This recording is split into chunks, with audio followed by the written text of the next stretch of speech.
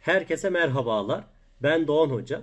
Özellikle dil sınıflarını ilgilendiren grammar videolarının yer alacağı bu video serisine tense'lerle başlıyorum. Herkese kolaylıklar diliyorum. Haydi başlayalım o zaman.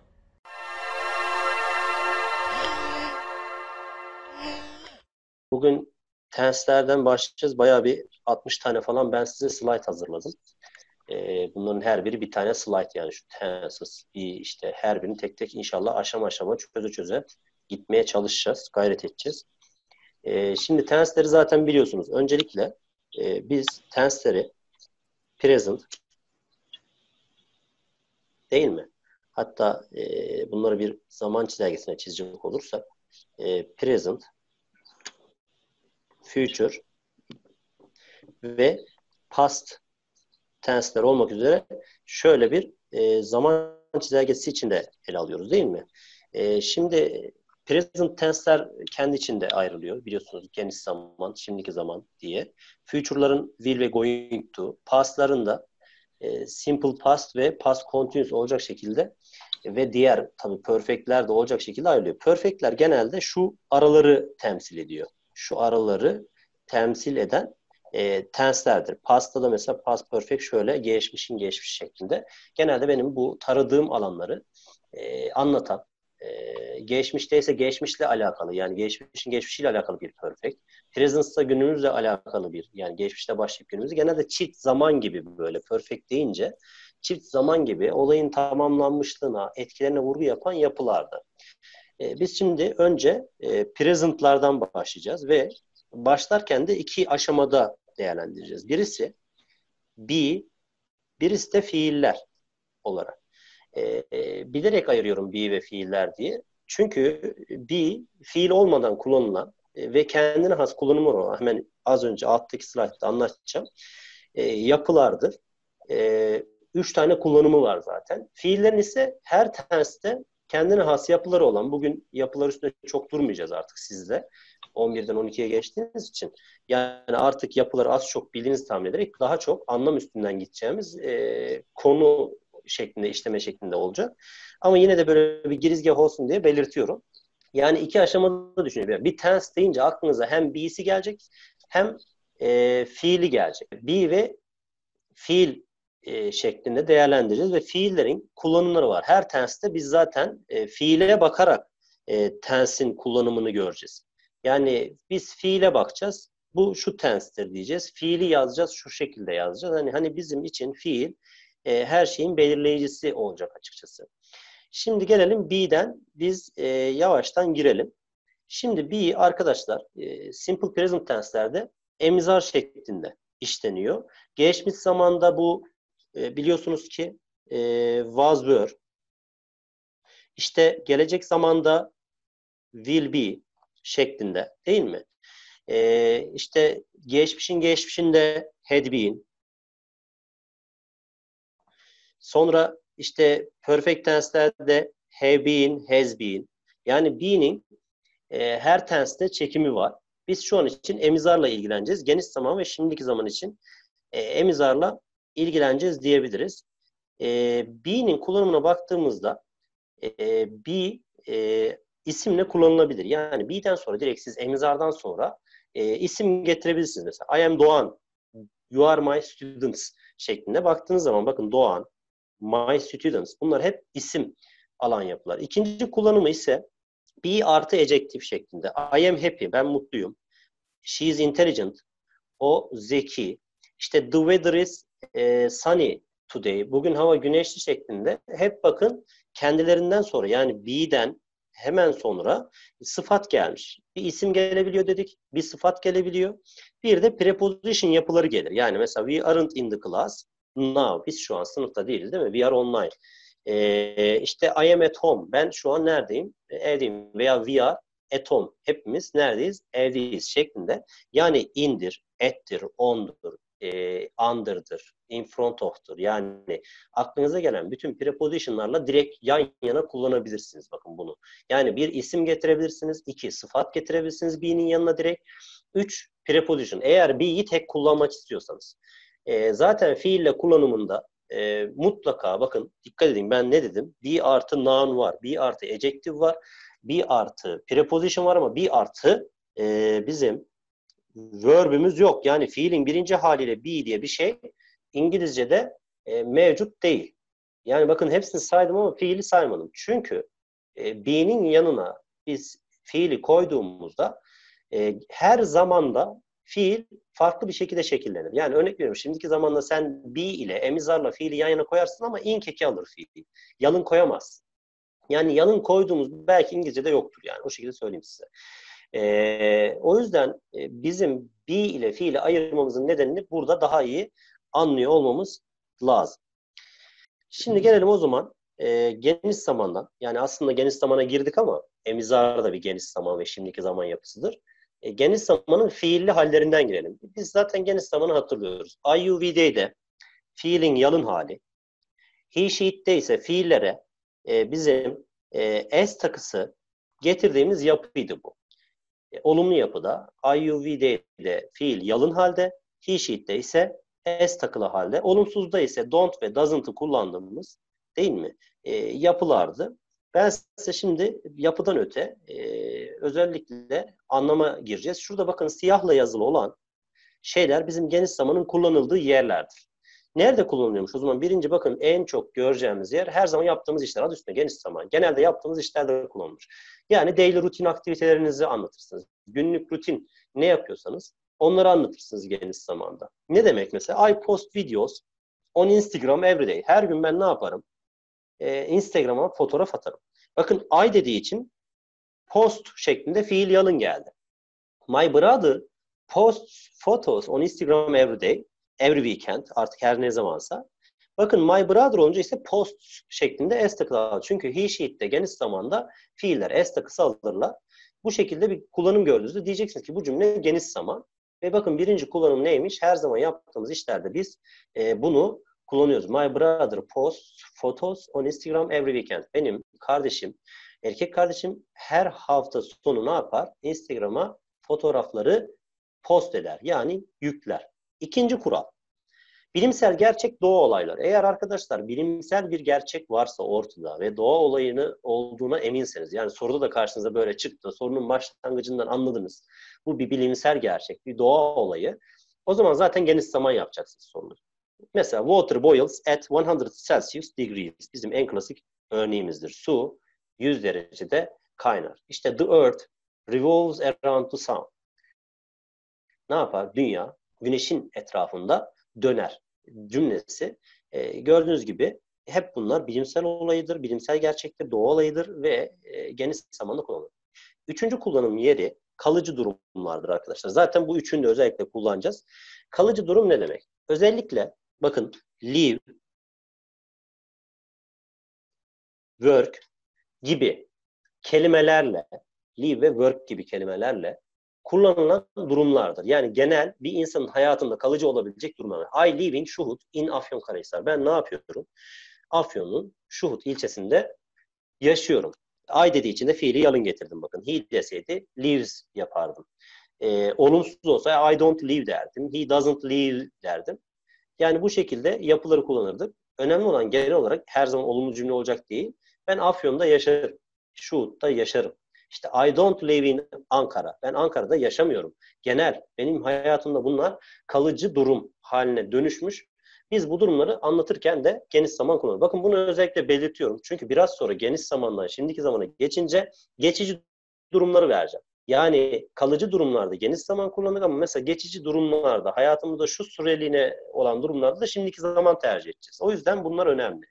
Ve en son kullanımı bunun future kullanımıdır arkadaşlar. Şu kullanım. Future tense'te bakın geniş zamanında şimdiki zamanında future tense'te kullanımı vardır. Ama farkları vardır. Nedir? Ee, biz geniş zamanı ne zaman kullanırız gelecek zaman anlamı vermek istiyorsak? Ee, The plane takes off at 9 p.m. tomorrow cümlesindeki. Bakın tomorrow yazmasına rağmen geniş zaman kabuk kalıbı. Çünkü biz e, şuna bakıyoruz. Eğer e, bir zaman çizelgesine bağlanmış olaylar varsa özellikle işte uçak, işte tren, gemi, sinema, tiyatro, konser gibi durumlar, işte bunların başlangıç saatleri, uçağın kalkış iniş saatleri gibi yapılar yarın da olsa genelde hep olduğu için bunları hep geniş zamanla anlatırız. Bakın burada tomorrow yazmasına rağmen takes off demiş, will take off veya is going to take off dememiş. Yani genel olarak biz o zaman timetable dediğimiz future tense anlamı da aklımızdan çıkmayacak. O zaman geniş zaman deyince aklımıza daily rutinler, doğa olayları, kalıcı durumlar gelecek öncelikle ama geniş zamanın bir de gelecek zaman anlamını asla aklımızdan çıkarmıyoruz. Peki geniş zamanın gelecek zaman anlamında en çok dikkat eden şeylerden birisi de şudur arkadaşlar. Bakın özneler genelde cansız öznedir. Şimdiki zamanla ikisini ayırırken de genelde öznelere bakacağız. Özneler genelde cansız öznedir. Eğer cansız e, özne görürseniz geniş zamanı yapacaksınız. Canlı özne görürseniz genelde şimdiki zamanı yapacağız. Gelecek zaman anlamlarında. E, aşağıda da hemen alalım tekrardan. Bakın time expressions yani simple present tense'in zaman ifadeleri var. E, bunlara da bir hemen göz atalım beraber. Everyday, every ile olan bütün ifadeler bakın every ile olan aklınıza gelen bütün ifadeler geniş zamandır önce. Yani aklınıza önce geniş zaman gelecek. Ben demiyorum ki başka zamanda kullanılmıyor bakın. Bunları biz past tense'te de kullanırız. Yeri gelince söyleyeceğim. Every ile olan bütün ifadeleri görünce aklınıza önce geniş zaman gelecek. Every day, every week, every weekend, every year. At the weekends. Zaten at the weekends hafta sonları every weekend demek. On Mondays, pazartesi günleri. On weekdays, bakın hafta içi günleri. E bunlar zaten every Monday demek bakın. Özellikle biz bunları evrileri görürsek ve genel olduğunu anlam çıkardığımız bütün ifadelerde biz geniş zamanı tercih edeceğiz. Peki gelelim how often sorusu. How often bir işi ne kadar sıklıkla yaptığımızı anlatan sorudur. Değil mi? Eğer biz e, how often'ı görürsek de aklımıza öncelikle geniş zaman gelecek. E, bazen past tense'de getirdiğimiz olacak. Onu da yeri zamanı gelince anlatacağım. Ve how often'a verilen cevaplar arkadaşlar. Özellikle biz e, şu gruba e, frequency adverbs diyoruz. Değil mi? Frequency adverbs. Yani sıklık zarfları dediğim şu grup. Always, her zaman, usually, generally, genellikle, often, sık sık, sometimes, bazen, rarely, scarcely, nadiren, never, hiç, once a day, işte günde bir kez, once a week, haftada bir kez, once a year, month, işte ayda, yılda bir kez, three, twice a week, haftada iki kez, twice kelimesi, three times, four times, ten times, ten thousand times. Çok önemli değil. A week, haftada işte binlerce kez demek istiyorsak, biz bu kalıpları görüyorsak aklınıza ilk olarak geniş zaman gelecek diyoruz. Yani geniş zamana bakın yani 5 dakikamızı falan aldı yaklaşık. Bu kadar aslında basit bir zaman. Genelde oluyorsa olaylar kullanıyoruz. Peki gelelim o zaman e, hemen present continuous tense. Bakın zaten yapı hemen değişiyor fark ediyorsunuz. Neydi? Biz e, geniş zamanda fiilin yalın halini ya da es takılı halini kullanırken bakın present continuous tense'te emizar artı fiile gelen ing eki mutlaka geliyor değil mi? Emizar ve ing mutlaka continuous tense'lerin hepsinde ing zaten zorunluydu. Geliyor. Bunu unutmayacağız. Ee, şimdi peki nerede kullanılıyor? Bizim için e, en önemli olan şey kullanım yerleri. Bakın benim siyahla yazdığım şeyler. Bunları paylaşacağım sizle de.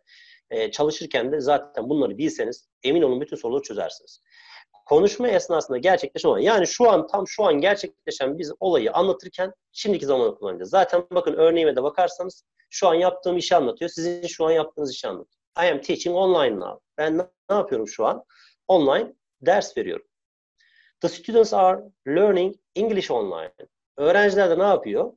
İngilizceyi online öğreniyorlar. Ne zaman? İşte şu an burada now dememe gerek yok. Zaten eğer şurada sen emizar artı ing'yi görüyorsan bu zaten now demek. Yani sonunda now yazsa da yazmasa da olayın şimdi gerçekleştiğini, şu sıralarda gerçekleştiğini anlıyoruz biz. İkinci kural. Bakın az önce size ne demiştim? Kalıcı olaylarda yani I live in şuhut cümlesinde kalıcı olaylarda biz geniş zaman kullanıyoruz. Bakın burada da örneğimde geniş zaman kullanmışım. I live in şuhut. Ben şuhutta yaşarım. Bu benim e, genelde yaptığım kalıcı bir olay. But I am staying in İhsaniye with my family nowadays. Ama ben bugünlerde ne yapıyorum? Ailemle birlikte İhsaniye'de kalıyorum. Bakın geçici bir durum. Şu sıralarda yaptığım bir durum. Kalıcı durumları anlatırken live fiili bile olsa, değil mi? Live'le kalıcıları anlatırken biz geniş zaman kullanıyorduk genelde. Ama şu sıralarda yaptığım olaylarda e, I am staying, I am living in İhsaniye diyebilirim. Şu an İhsaniye'de yaşıyorum ama bu benim için geçici bir durum. Bakın hemen tam şimdi olmasına gerek yok. Kalıcıysa geniş zaman, geçici ve şu sıralarda devam eden bir olaysa o zaman biz yine şimdiki zamanı kullanıyoruz. Peki gelelim devam ediyoruz. Şu sıralarda yaptığımız olaylarda ve gerçekleşen olaylarda, günden güne değişen olaylarda. Biz bunu özellikle şu sıralarda olan, meydana gelen olaylar da diyebilirsiniz. Günden güne değişen. E, hatta özellikle bakın e, şöyle colder, işte warmer e, gibi günden güne değişen olayları anlatırken biz şimdi zaman Mesela oil, oil prices are increasing each day. Oil genelde bizim özellikle YDS'de yani bizim sınavda e, petrol yerine kullanılan bir kelime. Yani normalde yağ Aa, gelir insanlar. Tabii acıkınca yağ gelsin aklınıza. E, ama e, bizim özellikle cümlelerimizde görürseniz öncelikle aklınıza özellikle oil price falan derse petrol fiyatları gelsin. Bakın ne diyor? Petrol fiyatları günden güne artıyor. Yani bakın günden güne bir değişim var. Şu sıralarda gerçekleşen bir olay var. Biz doğal olarak burada ne yapmışız? Ar artı fiile getiren ing takısı. Increase değil, increasing demişiz. İşte the weather is getting colder and colder. Hava ne yapıyor? Günden güne soğuyor. Günden güne bakın. Hemen şu an soğumuyor ama günden güne gerçekleşen bir değişim söz konusu. O zaman biz ne yapacağız? Yine e, şimdiki zamanı kullanacağız. Ve son kullanım. Yine bakın nasıl geniş zamanı kullandıysam bunun da bir future kullanımı mevcut. Yani akşam amcamlara gidiyoruz cümlesini. Bakın Türkçesi de var bunun. Akşam amcamlara gidiyoruz. Bir insan bu cümleyi çok e, net olursa söyler. Yani akşama dair çok net bir planı varsa bu cümleyi kurarsın. Biz akşam amcamlara gidiyoruz. Yarın Fransa'ya uçuyoruz. Cümlesini kurabilmen için e, gerçekten plan yapmış olman lazım. Zaten dikkat edin bakın plans demişim burada.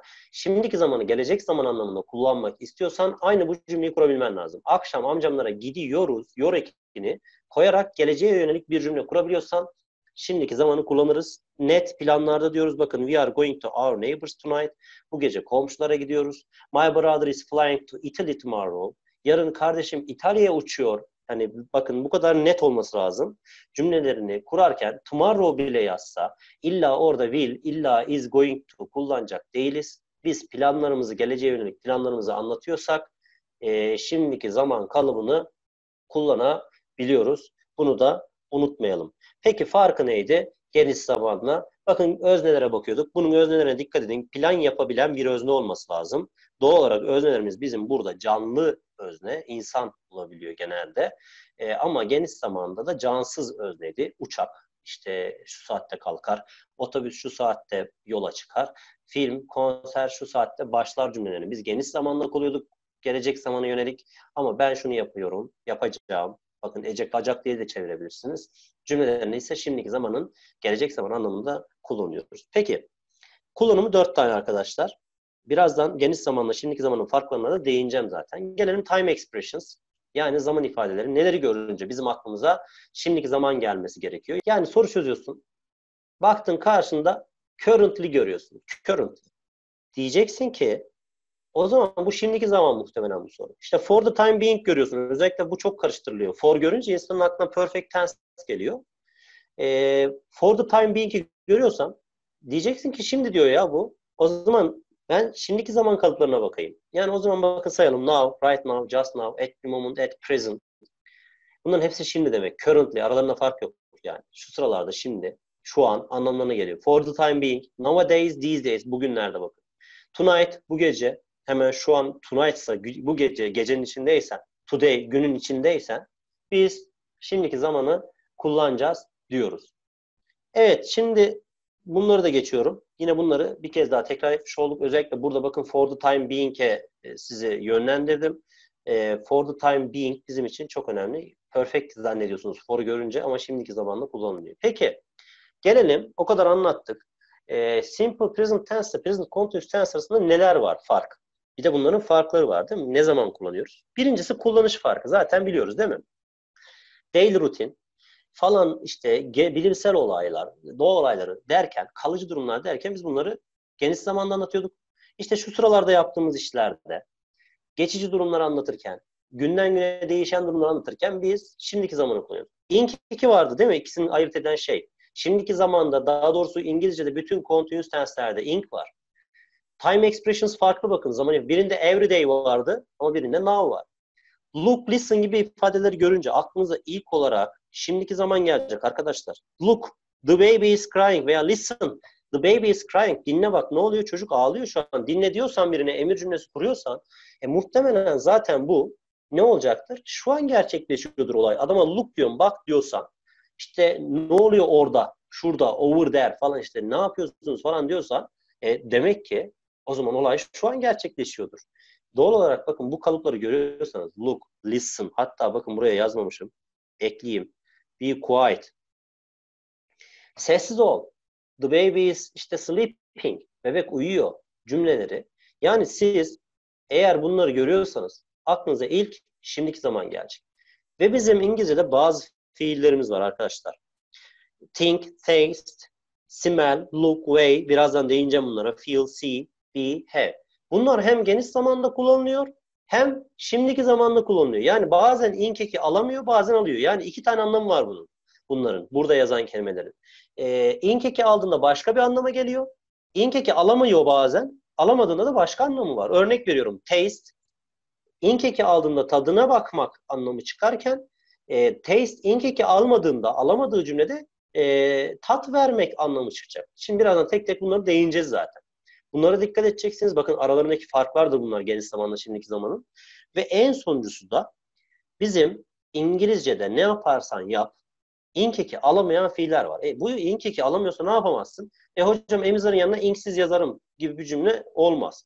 Ne yapacağız? Bunları inkeki alamıyorsa şimdiki zamanda kullanamıyorsan zorlamayacağım. Geniş zamanda kullanacaksın. Bunlar hangileri? Bakın hemen şurada inkeki alamayanlara e, bir şey açtım. Know, want, think, consider.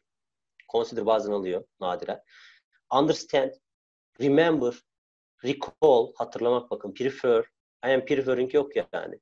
Seem, işte you seem deriz. You, see, you are seeming diyemiyoruz. I agree with you diyoruz bak. I am agreeing diye bir şey genelde yok. Belong to, bir şeye ait olmak involve, içermek, it is involving olmuyor genelde. It involves şeklinde. Believe, inanmak. I believe in Allah diyoruz. I am believing değil mi? Bak Allah'a inanıyorum yor aslında şimdiki zaman ama I believe in Allah diyoruz. I am believing demiyoruz. Apologize, özür dilemek. Need, gerektirmek, ihtiyaç duymak. Suppose, farz etmek. Mean, anlamına gelmek. Love, like, hate. Ben bir şey seviyorum. Aslında Türkçe bakarsan şimdiki zaman gibi. I am loving demen lazım. Ama I love you diyor. Seni seviyorum derken.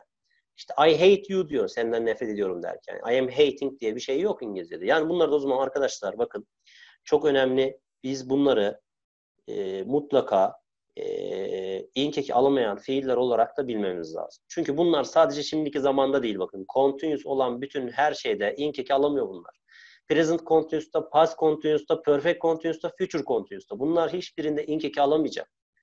O yüzden bizim için bu liste çok önemli bir listedir. Biz bu listeyi mutlaka aklımızda en azından şöyle çoğunu bir gördüğümüzde aşina olacak derecede ezberlememiz lazım. Peki gelelim. O zaman bazen alan, bazen almayan, aldığında anlamı değişen e, kelimelere gelelim. Bakın kırmızıyla yazdıklarım geniş zaman kullanımı. Maviyle yazdığım şeyler mor mu artık hangi renkse e, ise e, şimdiki zaman kullanımı. Yani siz think fiilini hem geniş zamanlı hem şimdiki zamanda kullanabilirsiniz ama geniş zamanda şu kırmızıyla yazdığım anlamını şimdiki zamanda kullanamazsınız. Bakın yukarıdaki cümle sizce ne anlama geliyor? I think my friend isn't studying hard now. Defne ne anlama geliyor sence?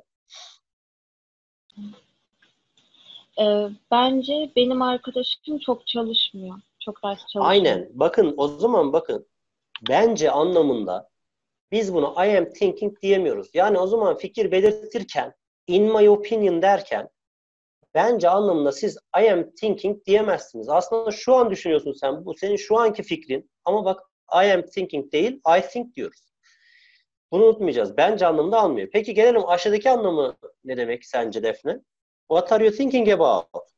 I am thinking about ya da of retiring. Ne düşünüyorsun? Aynen. Ne, ne planlıyorsun? What are you planning? Plan. Demek ki bakın plan anlamı olduğunda sen ne planlıyorsun, ne düşünüyorsun, aklından neler geçiyor? Yani fikir değil, bir insana fikrini değil de planlarını sorarken, bir konu hakkında görüşlerin değil de planlarını soruyorsak inkeki alabiliyor. Sıkıntı yok yani bu think'te. Ama fikir beyan ediyorsan I think, in my opinion anlamında kullanacaksan I am thinking diyemiyor. She is thinking diyemiyorsun. Düşünmek anlamında dersin. O düşünüyor şu an. Düşünceli bir şeyleri planlıyor. Kafasından bir şeyler geçiriyor derken ayrı. Ama e, bir kişi hakkında, bir durum hakkında yorum yapacaksan e, think fiili I am thinking olmuyor. I think oluyor. Geniş zaman kullanıyorsun. Bak aslında şimdiki zaman kalıp olarak. Yani ya, aslında zaman şimdi. Yani ben ne zaman düşünüyorum? Arkadaşımın çalışmadığını şu an düşünüyorum. Arkadaşım şu an çalışmıyor. Bana göre şu an böyle durum. Ama bakın şimdiki zaman bile olsa biz yine de geniş zaman kalıplarını kullanacağız. Bakın aşçıda taste az önce verdiğim örnek. Tat vermek anlamında yemek bize lezzetli bir tat veriyor anlamında şimdiki zaman kullanamıyoruz. Aslında şu an veriyor o lezzeti bana. Ama bakın şimdiki zaman bile olsa, zaman şu an bile olsa geniş zaman kalıplarını kullanıyoruz. Çünkü ink ekini tat vermek anlamında almıyor. Bakın ama aşağıya baktığımızda tadına bakmak anlamında zaten sıkıntı yok. Tadına bakmak anlamında bakıyorsun. Annen mutfakta girmiş. Kaşıkla bir bakıyor. Çatalla bir bakıyor yemeğin tadına. Aa diyorsun annem baksana da yemeğin tadına bakıyor diyorsan şimdiki zamanı kullan. İnkeki koy. Sorun değil. Ama yemek tat veriyor, lezzetli bir tat veriyor anlamında getiriyorsan veya kötü bir tat veriyor anlamında getiriyorsan e, the meal is tasting diyemiyorsun. Yani the meal is tasting şuraya yazamıyorsun. Evet devam ediyorum. Ne diyorsun e, Nagi Simel konusuna? Ee, bu e, bu çiçekler Evet. bu çiçek e, güzel kokuyor yani kokmak. Burada Aynen. Kokmak, anlamında Asım ink eki burada- almıyor. Aynen. Asım Buray'ı da buraya koydum. E, Çocuk tarihe geçsin diye. Asım Buğra çiçek gibi kokuyor. Çiçek gibi değil kız. Like demiyor bak. Çiçekleri ne yapıyor Asım Buğra? Ha koklamak, kokluyor, kokluyor. Aferin. Kokluyor. Hocam aklıma Yani- gelmedi. Biliyorum. Tamam, Olur ya normal. Normal yani zaten bugünkü dersimizin amacı hatırlatmaya arkadaşlar. Yani siz evde tek başınıza hatırlamanız daha zor diye biz anlatıyoruz burada. Birlikte hatırlıyoruz yani. Önemli olan o. E, amacımız size bugün hatırlatmak ve bu konuyu tamamen kapatmak test çözümleriyle beraber. Asım Burak ne yapıyor? Çiçekleri bakıyorsun. Asım Burak gitmiş çiçekleri kokluyor.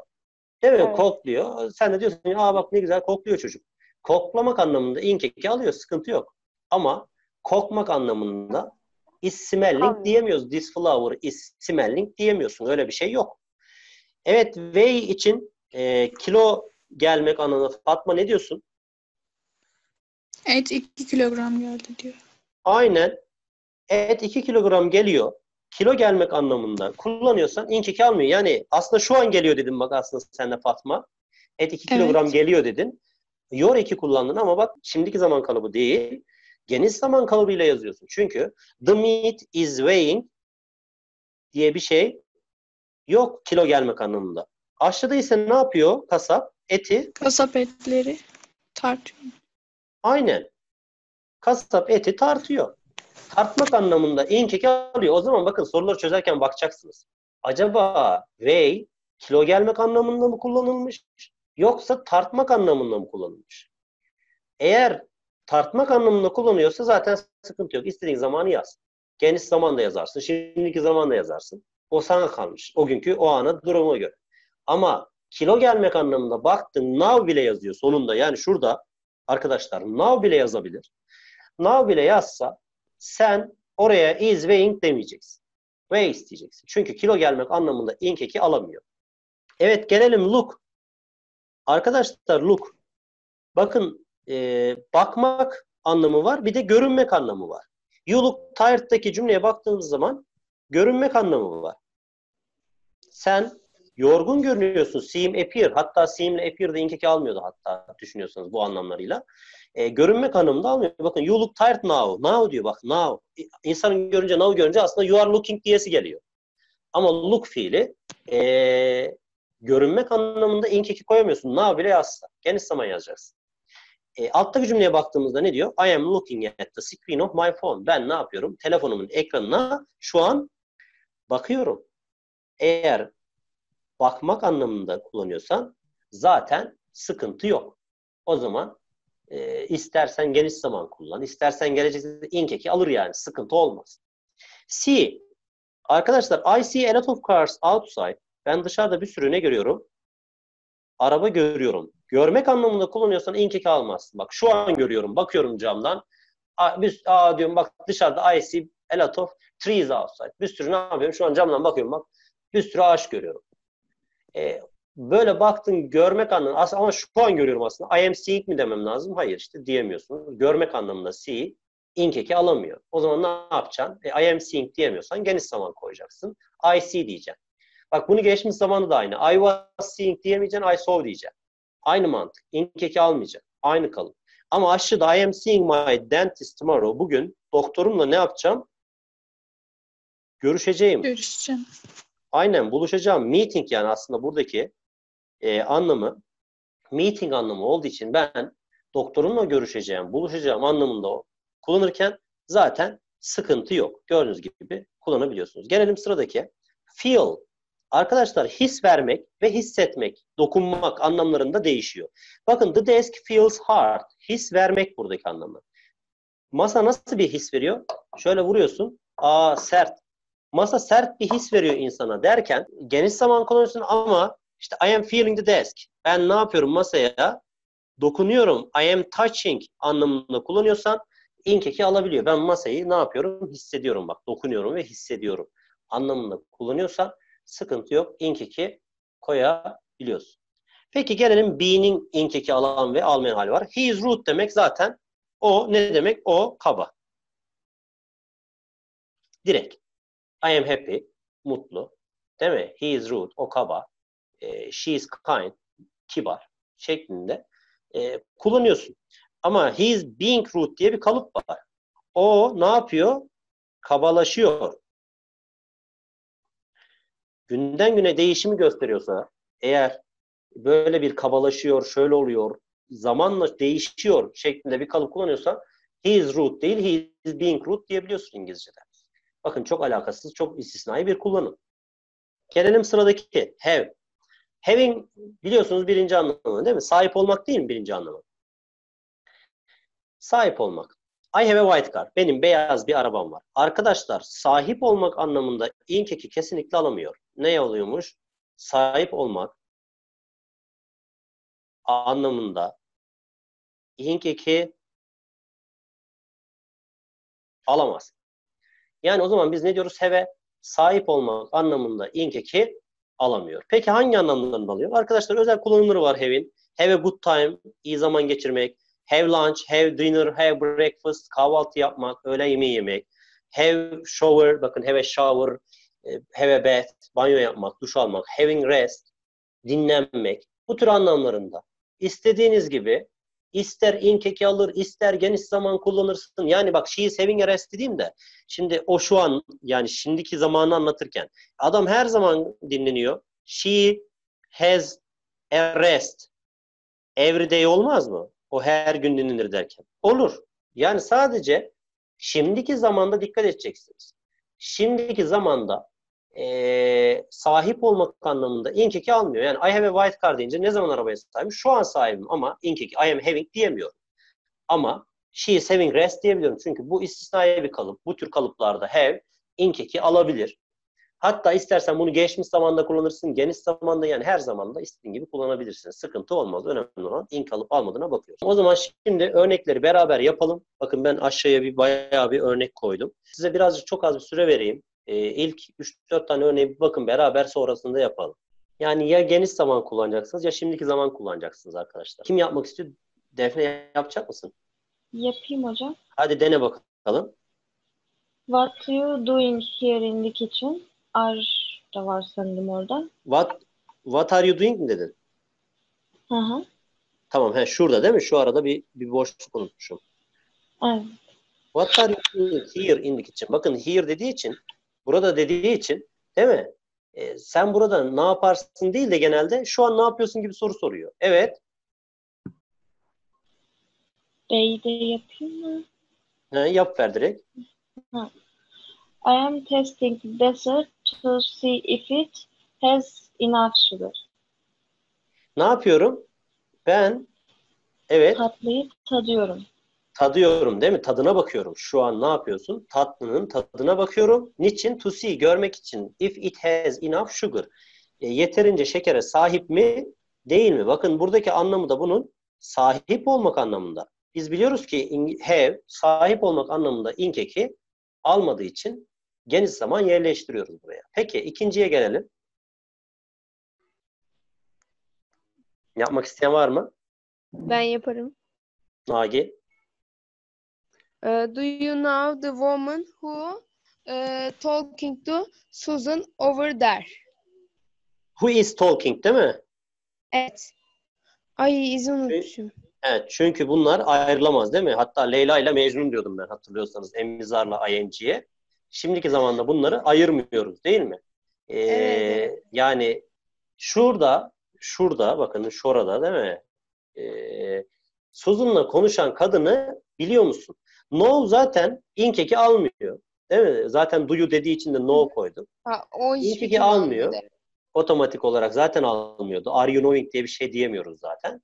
Şu an bile olsa değil mi? Biliyor musun diyorsun. Bak aslında biliyor musun? Your var aslında. Şimdiki zamanda soruyorsun ama do you know oluyor. Yani are you knowing diye bir şey İngilizce'de yok.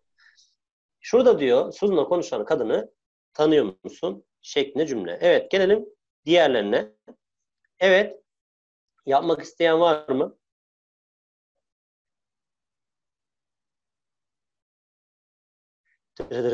Biraz bekleyeyim mi?